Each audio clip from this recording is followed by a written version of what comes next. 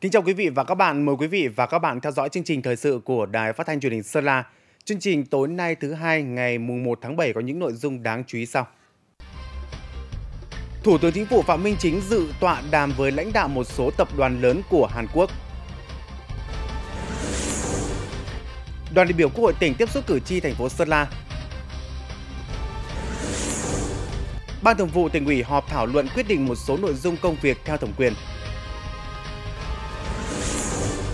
Các địa phương trong tỉnh đồng loạt ra mắt lực lượng tham gia bảo vệ an ninh trật tự ở cơ sở.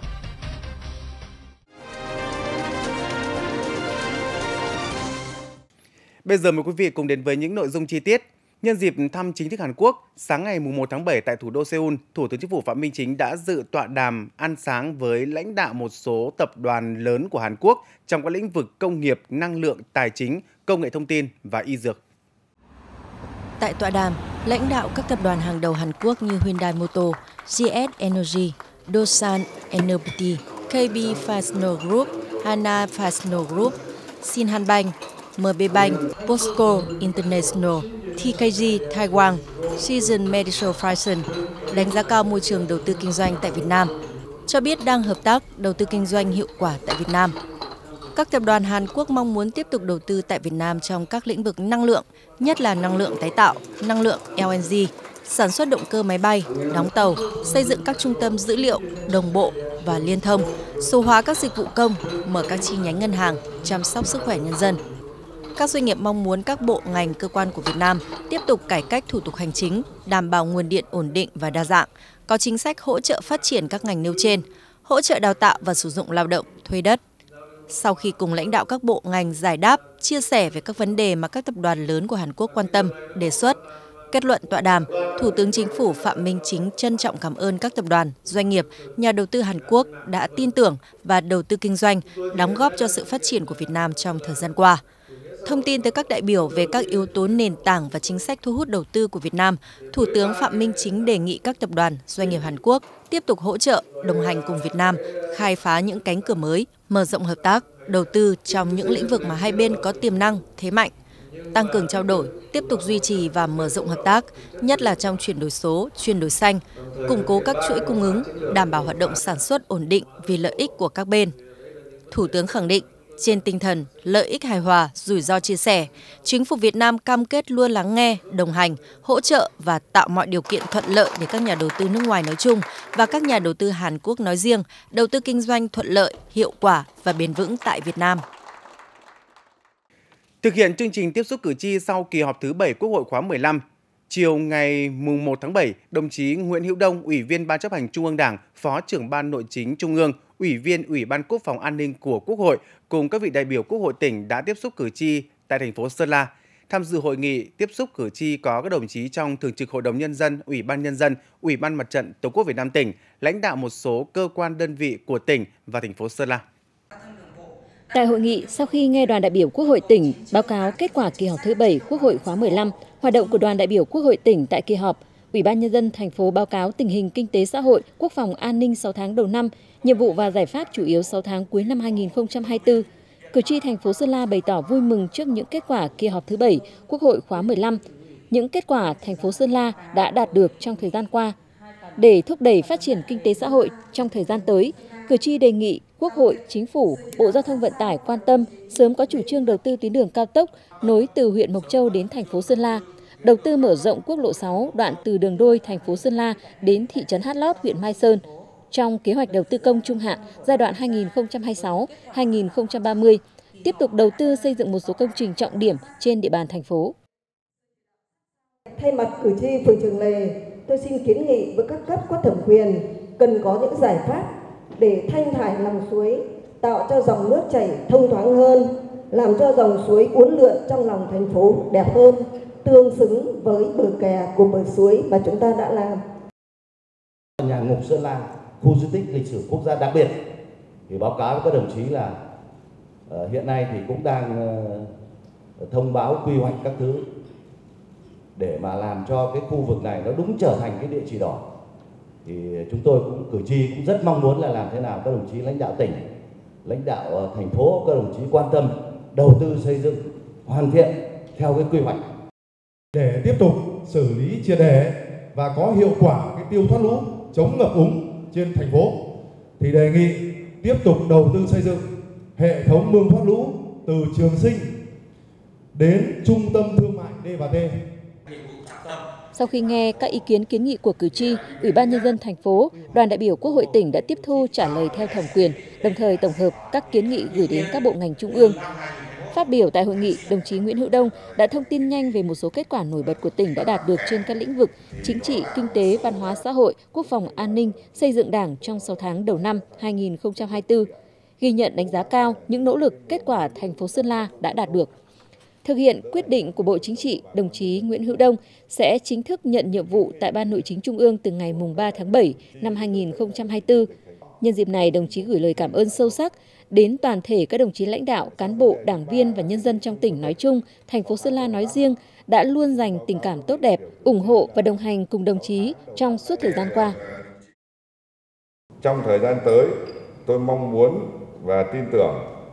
với sự lãnh đạo sáng suốt của Ban chấp hành Đảng Bộ tỉnh, sự quản lý điều hành hiệu quả của chính quyền các cấp, cùng với tinh thần đoàn kết sáng tạo của toàn thể nhân dân, tỉnh Sơn La nói chung, thành phố Sơn La nói riêng sẽ tiếp tục duy trì và phát huy những kết quả đã đạt được, đồng thời tìm ra những giải pháp sáng tạo, hiệu quả để đối mặt với những thách thức mới, tiếp tục đưa tỉnh Sơn La, thành phố Sơn La phát triển mạnh mẽ và bền vững hơn nữa. Qua cuộc tiếp xúc cử tri ngày hôm nay, cho phép tôi gửi lời cảm ơn sâu sắc đến toàn thể các đồng chí lãnh đạo, cán bộ, đảng viên và nhân dân trong tỉnh nói chung, thành phố Sơn La nói riêng đã luôn dành tình cảm tốt đẹp, ủng hộ và đồng hành cùng tôi trong suốt thời gian vừa qua. Nhân kỷ niệm 77 năm Ngày Thương binh Liệt sĩ 27 tháng 7, đồng chí Nguyễn Hữu Đông cùng đoàn đại biểu Quốc hội tỉnh đã tặng 20 xuất quà cho 20 thương binh, bệnh binh, người có công với cách mạng trên địa bàn thành phố Sơn La, tặng quà cho các đồng chí nguyên là lãnh đạo thành phố Sơn La qua các thời kỳ.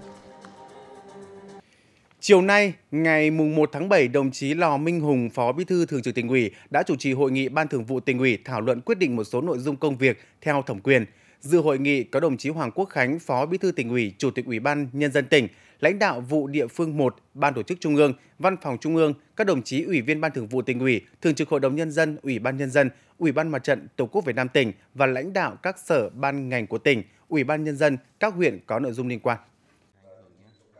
Tại hội nghị, đồng chí Lò Minh Hùng đã quán triệt triển khai một số nội dung văn bản mới của Trung ương, gồm quy định số 162 ngày 29 tháng 5 năm 2024 của Ban Bí thư về chức năng nhiệm vụ, mối quan hệ công tác của Đảng bộ, chi bộ cơ sở, cơ quan hội quần chúng. Quyết định số 165 ngày 6 tháng 6 năm 2024 của Bộ Chính trị về ban hành quy trình xem xét thi hành kỷ luật đối với tổ chức đảng, đảng viên thuộc thẩm quyền Ban chấp hành Trung ương Đảng, Bộ Chính trị, Ban Bí thư, chỉ thị số 36 ngày 14 tháng 6 năm 2024 của Ban Bí thư về Đại hội các hội văn học nghệ thuật và Liên hiệp các hội văn học nghệ thuật Việt Nam nhiệm kỳ 2025-2030 chỉ thị số 35 ngày 14 tháng 6 năm 2024 của Bộ Chính trị về Đại hội Đảng bộ các cấp tiến tới Đại hội đại biểu toàn quốc lần thứ 14 của Đảng Tiếp đó, Ban Thường vụ tỉnh ủy đã cho ý kiến đối với các tờ trình, báo cáo do Ban Cán sự Đảng Ủy ban Nhân dân tỉnh trình về công tác lãnh đạo chỉ đạo của Ban chấp hành Đảng bộ tỉnh 6 tháng đầu năm, nhiệm vụ trọng tâm 6 tháng cuối năm 2024,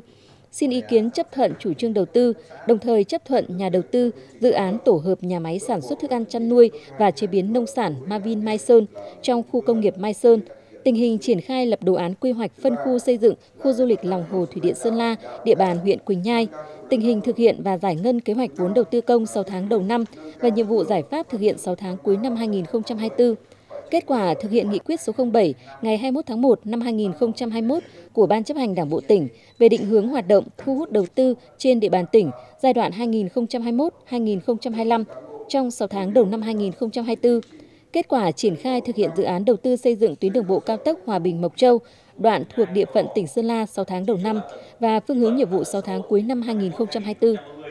Thảo luận cho ý kiến đối với các báo cáo của Ban Nội chính tỉnh ủy, Ủy ban Kiểm tra tỉnh ủy và Ban Tổ chức tỉnh ủy. Dự thảo đề cương văn kiện Đại hội Đảng bộ tỉnh lần thứ 16, nhiệm kỳ 2025-2030 của Tiểu ban Văn kiện Đại hội Đảng bộ tỉnh lần thứ 16, nhiệm kỳ 2025-2030 trình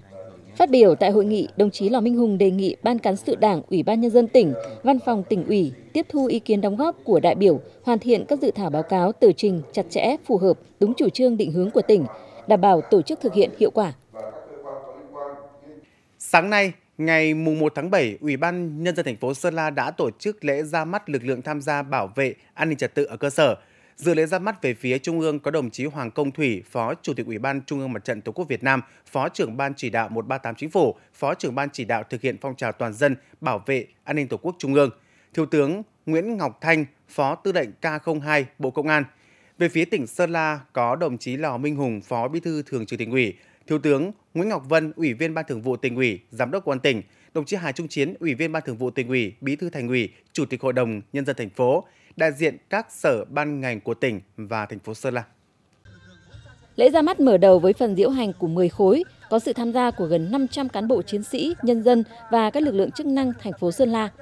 Tại buổi lễ, lãnh đạo Ủy ban nhân dân thành phố Sơn La đã giới thiệu tóm tắt nội dung cơ bản của luật lực lượng tham gia bảo vệ an ninh trật tự ở cơ sở và các văn bản quy định chi tiết thi hành.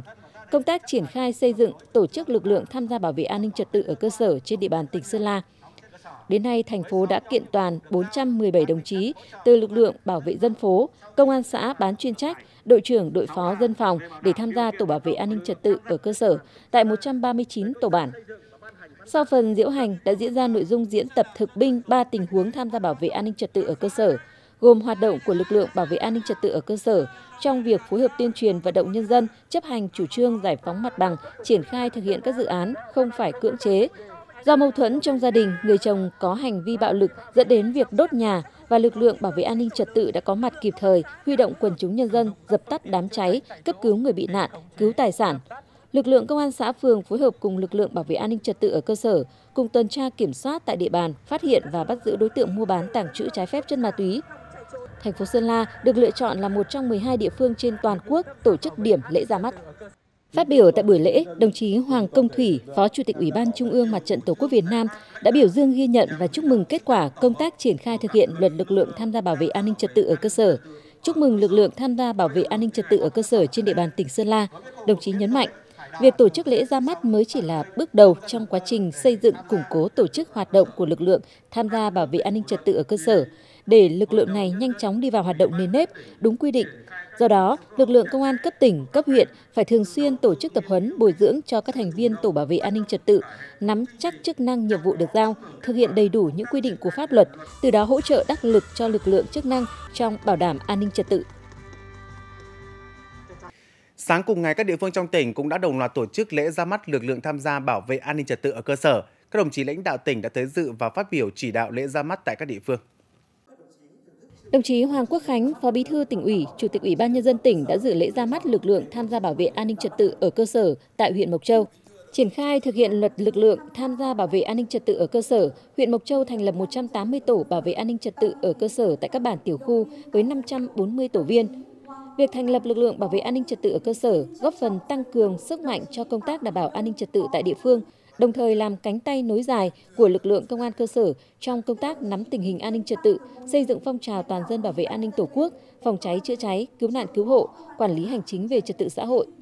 Phát biểu tại lễ ra mắt, đồng chí Hoàng Quốc Khánh đề nghị huyện Mộc Châu tập trung tuyên truyền đến cán bộ đảng viên và nhân dân về vị trí vai trò, ý nghĩa, tầm quan trọng của lực lượng tham gia bảo vệ an ninh trật tự ở cơ sở, đảm bảo các điều kiện cơ sở vật chất và hỗ trợ kinh phí hoạt động của các tổ theo quy định, các đồng chí trong lực lượng tham gia bảo vệ an ninh trật tự ở cơ sở tiếp tục nâng cao chuyên môn nghiệp vụ, đạo đức nghề nghiệp, gương mẫu trong mọi hành động, thực hiện tốt công tác tuyên truyền, vận động nhân dân tham gia bảo vệ an ninh trật tự, tố giác tội phạm, xây dựng phong trào toàn dân bảo vệ an ninh Tổ quốc.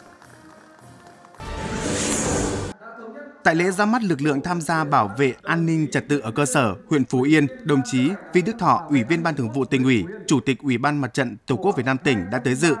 Huyện Phú Yên đã thành lập 203 tổ bảo vệ an ninh trật tự ở cơ sở thuộc 27 xã thị trấn với 609 đồng chí, đạt 100%, trong đó mỗi tổ có 3 thành viên, được bố trí tại 203 bản tiểu khu. Phát biểu tại buổi lễ, đồng chí Vi Đức Thọ đã giao nhiệm vụ cho các tổ bảo vệ an ninh trật tự cần chủ động tích cực tham gia bảo vệ an ninh, giữ vững ổn định tại cơ sở, thường xuyên phối hợp với công an xã tuần tra, kịp thời phát hiện, xử lý các tình huống phức tạp về an ninh, trật tự xã hội, Ban Thường vụ huyện ủy, Ủy ban nhân dân huyện tiếp tục quán triệt các văn bản chỉ đạo của các cấp đến các tổ bảo đảm kinh phí, trang thiết bị phục vụ hoạt động của các tổ, yêu cầu lực lượng công an huyện Phú Yên thường xuyên bồi dưỡng, nâng cao trình độ chuyên môn nghiệp vụ cho thành viên các tổ bảo vệ an ninh trật tự, đáp ứng yêu cầu nhiệm vụ trong tình hình mới. Tại lễ ra mắt lực lượng tham gia bảo vệ an ninh trật tự tại cơ sở, huyện Mường La, đồng chí Lê Hồng Long, Ủy viên Ban Thường vụ tỉnh ủy, trưởng ban tổ chức tỉnh ủy đã tới dự. Thực hiện luật lực lượng tham gia bảo vệ an ninh trật tự ở cơ sở, huyện Mường La đã quyết định thành lập 195 tổ bảo vệ an ninh trật tự ở cơ sở tại 100% bản tiểu khu trên địa bàn toàn huyện. Các tổ có nhiệm vụ hỗ trợ công an cấp xã trong thực hiện các nhiệm vụ đã được quy định tại luật lực lượng tham gia bảo vệ an ninh trật tự ở cơ sở. Phát biểu tại lễ ra mắt, đồng chí Lê Hồng Long đề nghị huyện Mường La tiếp tục đẩy mạnh tuyên truyền luật lực lượng tham gia bảo vệ an ninh trật tự trong mọi tầng lớp nhân dân, thường xuyên bồi dưỡng nâng cao trình độ nghiệp vụ thành viên các tổ bảo vệ an ninh trật tự. Các tổ bảo vệ an ninh trật tự bám sát nhiệm vụ được giao, tích cực hỗ trợ công an xã trong việc bảo vệ an ninh trật tự, xây dựng phong trào toàn dân bảo vệ an ninh Tổ quốc, góp phần bảo đảm an ninh trật tự ngay từ cơ sở, tạo động lực thúc đẩy phát triển kinh tế xã hội trên địa bàn. Đồng chí Lương Thị Vân Anh, Ủy viên Ban Thường vụ tỉnh ủy, chủ nhiệm Ủy ban Kiểm tra tỉnh ủy đã dự lễ ra mắt lực lượng tham gia bảo vệ an ninh trật tự ở cơ sở của huyện Yên Châu. Huyện đã tiến hành tuyển chọn kiện toàn và thành lập 169 tổ bảo vệ an ninh trật tự tại 15 xã thị trấn với tổng số 507 thành viên. Phát biểu tại lễ ra mắt, đồng chí Lương Thị Vân Anh đề nghị Thường trực huyện ủy, Ủy ban nhân dân huyện Yên Châu tiếp tục quan tâm lãnh đạo chỉ đạo trực tiếp toàn diện đối với nhiệm vụ tổ chức hoạt động của lực lượng tham gia bảo vệ an ninh trật tự ở cơ sở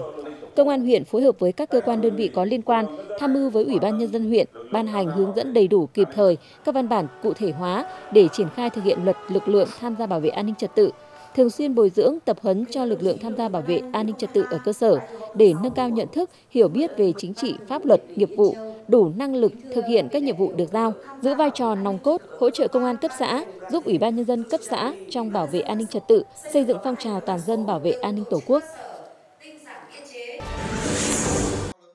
Đồng chí Bùi Minh Tân, Ủy viên Ban Thường vụ Tỉnh ủy, trưởng Ban Nội chính Tỉnh ủy đã dự lễ ra mắt lực lượng tham gia bảo vệ an ninh trật tự tại cơ sở huyện Vân Hồ. Lực lượng tham gia bảo vệ an ninh trật tự cơ sở huyện Vân Hồ có 115 tổ với 345 thành viên. Phát biểu tại lễ ra mắt, đồng chí Bùi Minh Tân đề nghị lực lượng tham gia nhiệm vụ bảo vệ an ninh trật tự ở cơ sở nhanh chóng ổn định và triển khai thực hiện nhiệm vụ theo quy định của pháp luật. Thường trực huyện ủy, Ủy ban nhân dân huyện Vân Hồ tiếp tục lãnh chỉ đạo tuyên truyền sâu rộng tới cán bộ đảng viên, nhân dân về tầm quan trọng của lực lượng tham gia bảo vệ an ninh trật tự ở cơ sở để nhân dân hiểu và tự giác tham gia, tăng cường công tác tập huấn bồi dưỡng kiến thức cho lực lượng tham gia bảo vệ an ninh trật tự ở cơ sở, tạo điều kiện cho lực lượng tham gia bảo vệ an ninh trật tự cơ sở thực hiện nhiệm vụ, góp phần đảm bảo tốt an ninh trật tự trên địa bàn. Tại huyện Thuận Châu, dự lễ ra mắt lực lượng tham gia bảo vệ an ninh trật tự ở cơ sở có đồng chí Đinh Thị Bích Thảo, Ủy viên Ban Thường vụ tỉnh ủy, trưởng Ban tuyên giáo tỉnh ủy. Các xã thị trấn trên địa bàn huyện Thuận Châu đã lựa chọn được 336 tổ với trên 1.000 người tham gia, tổ chức một lớp tập huấn nghiệp vụ cho lực lượng tham gia bảo vệ an ninh trật tự tại cơ sở.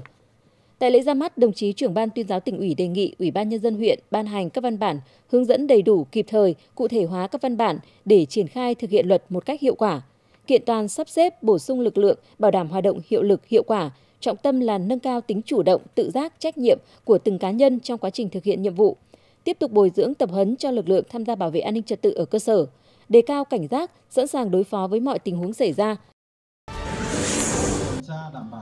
Tại lễ ra mắt lực lượng tham gia bảo vệ an ninh trật tự cơ sở huyện Quỳnh Nhai, đồng chí Đặng Ngọc Hậu, Phó Chủ tịch Ủy ban Nhân dân tỉnh đã tới dự. Tại buổi lễ đã diễn ra nội dung diễu hành với sự tham gia của 17 khối trên 500 cán bộ chiến sĩ, nhân dân và các thành viên lực lượng bảo vệ an ninh trật tự ở cơ sở.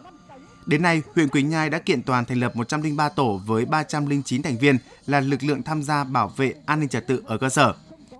Phát biểu tại buổi lễ, đồng chí Đặng Ngọc Hậu đề nghị lực lượng tham gia bảo vệ an ninh trật tự ở cơ sở huyện Quỳnh Nhai làm tốt công tác nắm tình hình an ninh trật tự tại cơ sở, hỗ trợ các đơn vị địa phương xây dựng phong trào toàn dân bảo vệ an ninh Tổ quốc, thực hiện tốt công tác hỗ trợ phòng cháy chữa cháy, cứu nạn cứu hộ, làm tốt công tác phối hợp trong việc tuần tra bảo đảm an ninh trật tự, an toàn giao thông, thực hiện nhiệm vụ bảo vệ an ninh trật tự khi được điều động, vận động giáo dục người đã có hành vi vi phạm pháp luật đang cư trú tại cơ sở.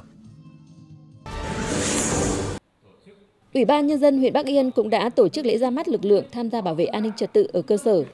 Huyện Bắc Yên đã thành lập 99 tổ bảo vệ an ninh trật tự ở cơ sở tại các bản, tiểu khu với 297 tổ viên.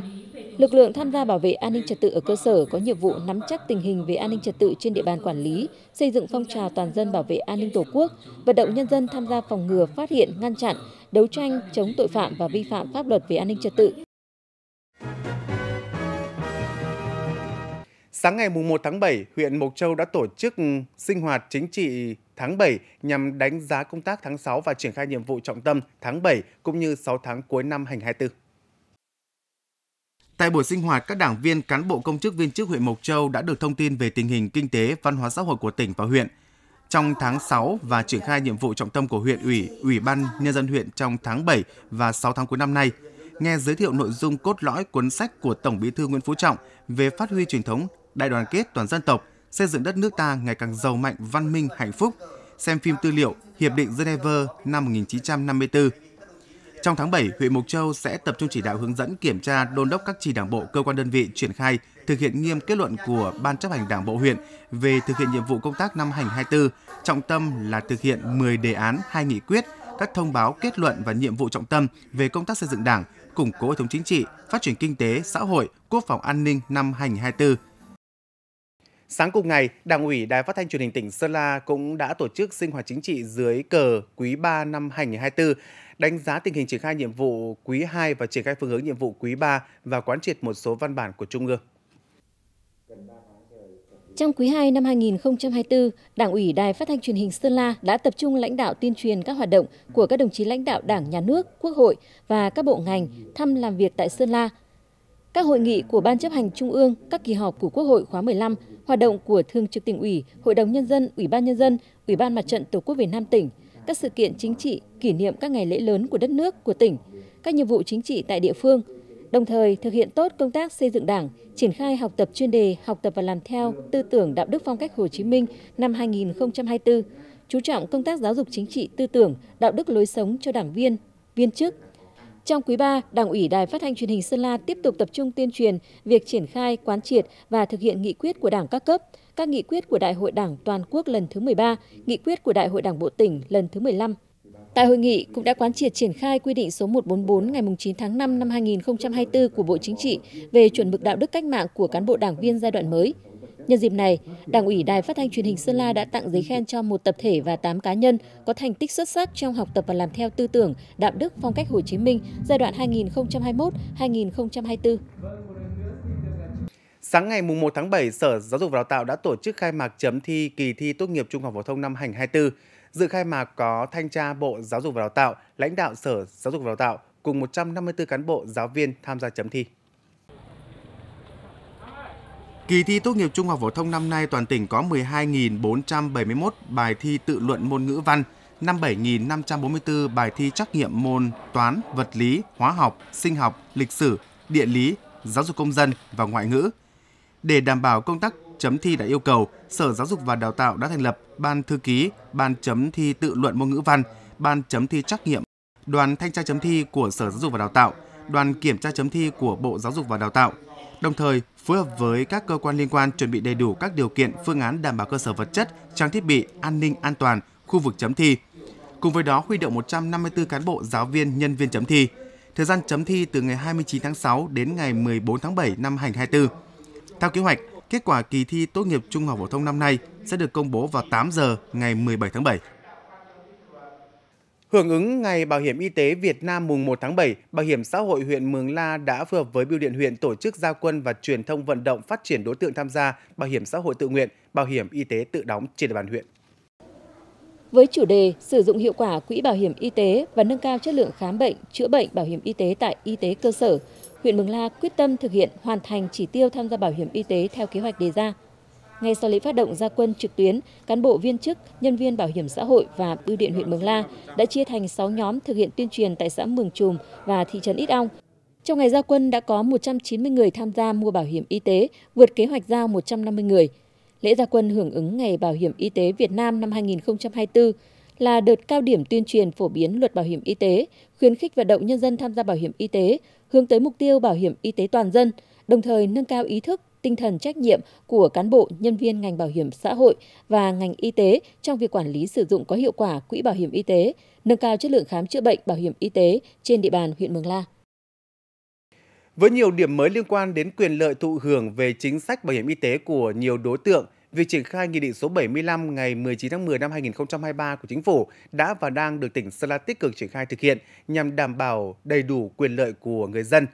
Qua đó, càng khẳng định tính ưu việt nhân văn của chính sách bảo hiểm y tế của Đảng và Nhà nước. Gia đình cháu Lò Thị Thảo Vi ở bản Nà Lo, thị trấn Ít Ong, huyện Mường La có 4 người thuộc diện phải mua thẻ bảo hiểm y tế.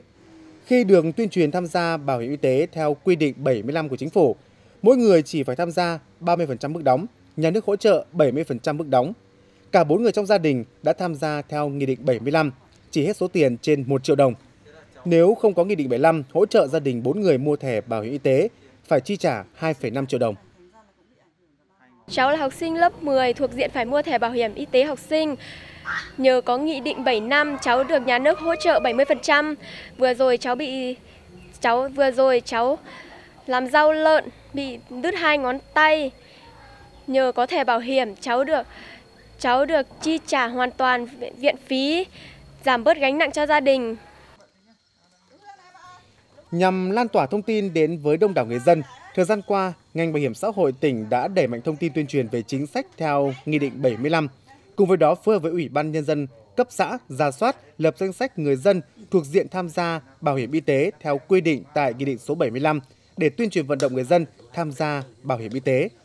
Nhờ tham gia kịp thời, nhiều người không may bị ốm đau phải đi viện đã được chi trả tiền viện phí, giảm bớt khó khăn cho gia đình.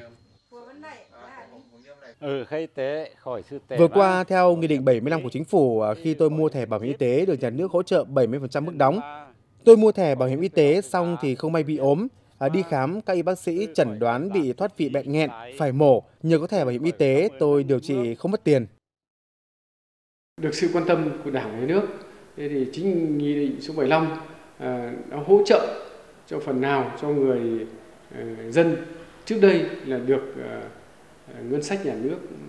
đóng bảo hiểm y tế thì nay không còn giai đoạn này không còn được hỗ trợ nữa thì tiếp tục được hỗ trợ một phần mức đóng thì để người dân có điều kiện tiếp cận chính sách dần dần để người dân sẽ chủ động tham gia bảo hiểm y tế. Bên cạnh việc được hỗ trợ mức đóng, nâng mức hưởng chi phí khám chữa bệnh bảo hiểm y tế, Nghị định 75 đã bãi bỏ quy định về tổng mức thanh toán chi phí khám chữa bệnh bảo hiểm y tế, thực hiện thanh toán chi phí khám chữa bệnh bảo hiểm y tế theo phương thức thanh toán theo giá dịch vụ được áp dụng từ ngày 1 tháng 1 năm 2019 tăng cường vai trò trách nhiệm của các bộ, ngành, cơ sở khám chữa bệnh trong việc quản lý sử dụng hiệu quả quỹ bảo hiểm y tế. 6 tháng đầu năm nay, đã có trên 457.700 lượt bệnh nhân khám chữa bệnh bảo hiểm y tế với chi phí khám chữa bệnh trên 412,3 tỷ đồng. Trong thời gian qua, à, công tác khám chữa bệnh trên địa bàn tỉnh Sơn La từ tuyến tỉnh, tuyến huyện cho đến tuyến xã à, đã đạt được nhiều kết quả nổi bật. Cụ thể là cái số lượng người dân à, đến khám chữa bệnh tại các cơ sở y tế có xu hướng ngày càng gia tăng. Điều đó thể hiện rằng là người dân đã càng ngày càng tin tưởng vào cái hệ thống khám chữa bệnh công lập. Đến nay, tổng số người tham gia bảo hiểm y tế toàn tỉnh đạt trên 1 triệu 241 nghìn người, tỷ lệ bao phủ đạt 94,52% dân số. Trong đó, số người tham gia bảo hiểm y tế theo Nghị định 75 đạt trên 100.700 người, góp phần tăng tỷ lệ người dân tham gia bảo hiểm y tế, đảm bảo an sinh xã hội trên địa bàn. Thông tin vừa rồi cũng đã kết thúc chương trình thời sự tối nay. Cảm ơn sự quan tâm theo dõi của quý vị và các bạn. Và ngay sau đây là những thông tin thời tiết đêm nay và ngày mai.